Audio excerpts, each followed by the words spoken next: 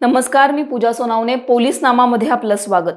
संभाव्य ओमायक्रोनचा धोका लक्षात घेत महापालिका प्रशासनाने कोरोना प्रतिबंधक नियम अधिक कडक केले आहेत. या नियमांचं उल्लंघन करणाऱ्यांना पाचशे रुपये ते पन्नास हजारांपर्यंतचा दंड भरावा लागू शकतो. यात रेस्टॉरंट्स हॉटेल्स आणि मॉल्समध्ये लशीचे दोन डोस घेतल्याशिवाय प्रवेश केल्यास दंड आकारला जाणार असल्याचे महापालिका आयुक्त इक्बाल शहल यांनी म्हटले आहे.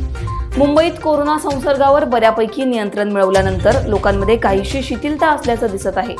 मात्र जगभरात ओमायक्रोन या कोरोना विषाणूच्या घातक व्हेरियंटने चिंता निर्माण केल्यानंतर मुंबईचे प्रशासनही सतर्क झाले आहे.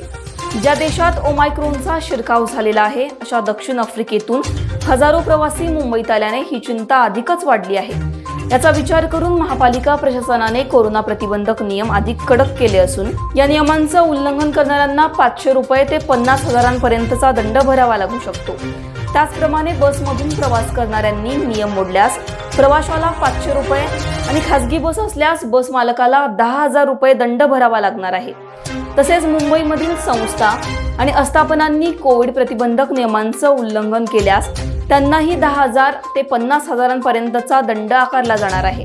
ही बातमी तुम्हाला आवडली असेल तर लाईक करा कमेंट करा शेअर करा. आणि पोलीस नामाला सबस्क्राईब करायला विसरू नका. पाहत रहा पोलीस नामा